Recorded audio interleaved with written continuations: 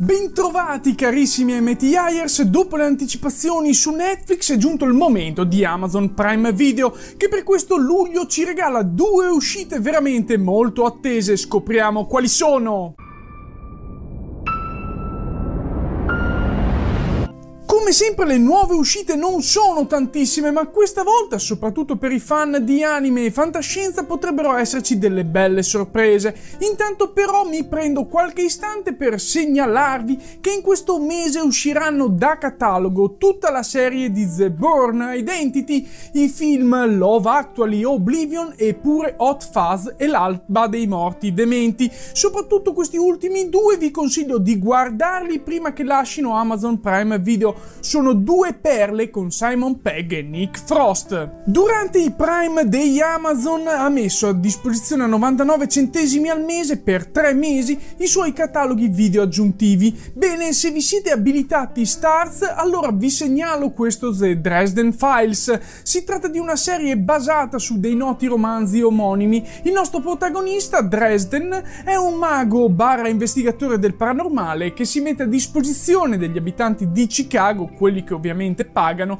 per risolvergli i problemi e dargli consigli. Ammetto di non aver letto i libri e che si tratta di una serie di soli 12 episodi datata 2007, ma se vi piace il genere un'occhiata la darei.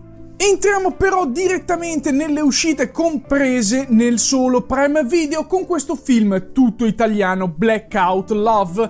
La nostra protagonista è un'allenatrice di una squadra femminile di pallavolo, ma non troppo segretamente, pure una collezionista di uomini che usa a suo piacimento e poi scarica quando si è stancata. Uno stile di vita che non evita di insegnare alle sue ragazze per renderle più forti e indipendenti.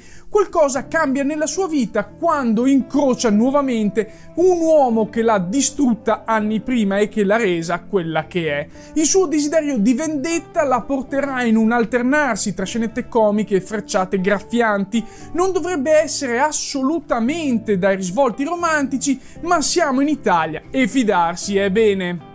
Un piccolo salto ad un comico grottesco come Jolt. La protagonista Lindy è affetta da un rarissimo disturbo neurologico e normalmente ironica, divertente e simpatica, oltre che molto bella visto che è interpretata da Kate Beckinsale, ma ogni tanto viene colta da questa sua sindrome. In cosa consiste questa malattia così debilitante? Ma in impulsi di rabbia omicida che può controllare solo teserandosi. Dire che sia complesso trovare un partner è poco, ma alla fine ci riesce e subito qualcuno, che non è lei, lo assassina. La nostra Lindy, piena di vendette e probabilmente con molto altro represso, parte sulle tracce del killer per vendicarsi. Spero la buttino in cacciara e sia senza pensieri. Eccoci ad un film di fantascienza molto atteso, La guerra di domani. Protagonista è Chris Pratt che abbandona per un attimo il ruolo da guardiano della galassia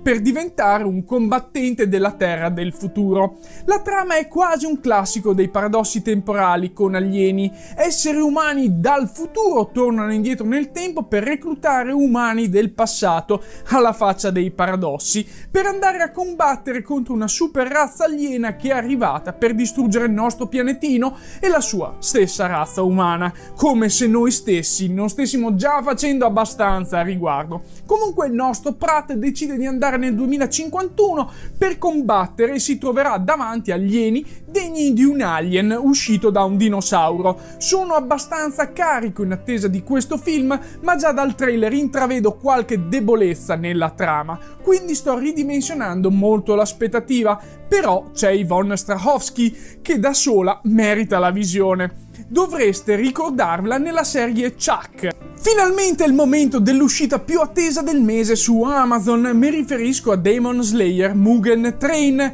Di poco tempo fa la notizia della lavorazione della terza stagione e finalmente arriverà anche da noi la seconda di questo anime che ha distrutto tutti i rivali al botteghino di ottobre dello scorso anno in Giappone. Infatti questa seconda stagione è composta da un singolo solo film ambientato tutto tutto su di un treno, dove il nostro Tanjiro, assieme agli altri cacciatori di demoni, dovrà catturare un demone molto forte che ha già ucciso molti dei loro compagni. Non dico altro perché magari non avete visto pure la prima stagione, ma le prime 26 puntate sono qui su Prime Video o su 4Vid da recuperare assolutamente prima della visione di questo film. Se vi va, io e Casolino per lo scorso Natale su Fantascientificast abbiamo fatto una puntata con un lungo approfondimento proprio su questo anime e nell'impatto che ha avuto nelle nuove generazioni.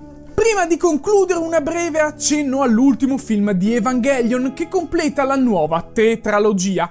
Infatti è in attesa di uscire su Amazon Prime Video e alcune vocine parlano proprio di questo mese di luglio per le uscite dei più datati primi tre film.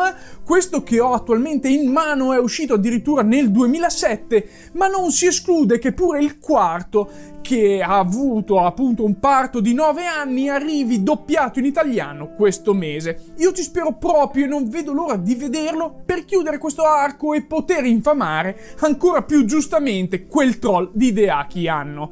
Ricordo comunque che la serie e i primi due film sono su Netflix. Voi intanto mettete mi piace, iscrivetevi al canale, attivate la campanellina e commentate con le vostre aspettative o esternazioni post visione di quanto vi ho anticipato. Come sempre un grazie a tutti e noi ci si vede al prossimo video che dovrebbe riguardare proprio le uscite di Disney Plus in cui se ne vedranno delle belle. Ciao!